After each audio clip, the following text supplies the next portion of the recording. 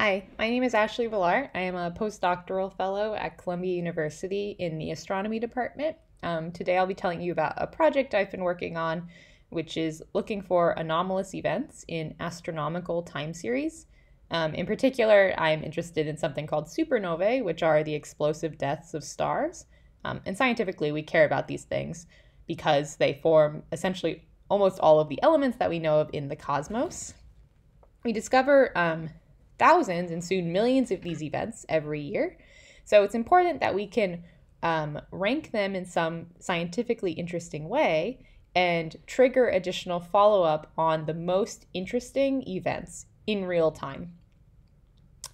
Um, so in this study, we're specifically focusing on the most anomalous events and the unknown unknowns of our surveys. So in particular, um, we're making a physics, physics agnostic on anomaly detection pipeline, which hopefully can trigger on new physics that's unexpected and looks like nothing we've seen before. So I'm showing you an example of our data set here for just one supernova. It's a very normal supernova, um, where you can see that our data is multi-channel. Each channel is a different color of light. Um, it's pretty sparse across time given the duration that the event lasts for. And importantly, these events are aperiodic, um, and transient. So they, they show up and they disappear in a duration of about days to months, depending on the underlying physics.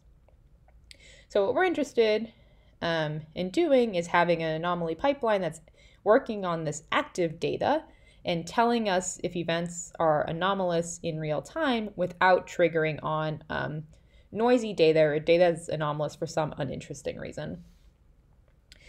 So very briefly, um, first, I'll tell you how the pipeline works.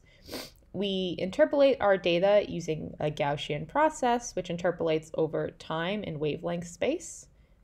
Once we have that nice newly gridded data, we pass that through a recurrent variational autoencoder, um, where the recurrent neurons are so that we can have um, arbitrary time scales.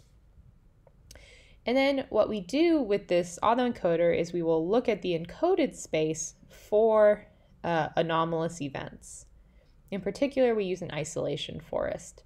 Um, and so let me show you just one example of such an anomalous event where um, this is something called a superluminous supernova. I know the underlying physics because our data is from a simulated data set, and I know that the class this comes from is in fact just 2% of the training set. So to me, scientifically, this is an interesting anomalous event. Um, the pipeline agrees. It also finds it to be anomalous, where here I'm showing you um, how the anomaly score, I'm sorry, how the features change as a function of time, where the color indicates um, when the anomaly score reached a certain threshold to be considered an anomalous event. And what's exciting is that that happened very early on. It happens um, in particular before the light curve reaches its maximum light, which is important scientifically for us as that's kind of the optimal time to trigger additional follow up. Um, and in fact, we can see that in encoding space, this is just one subset of that space, um, where I'm showing the this specific event kind of traveling as a function of time, where purpleness represents time. And you can see um, that it, it walks away in a way from the majority of classes shown in black um, as it gets more anomalous in time. So this is a, a exciting avenue, um, and we're looking more into how now to apply this to real data um, to hopefully trigger on new physics sometime in the future. Thanks so much for listening.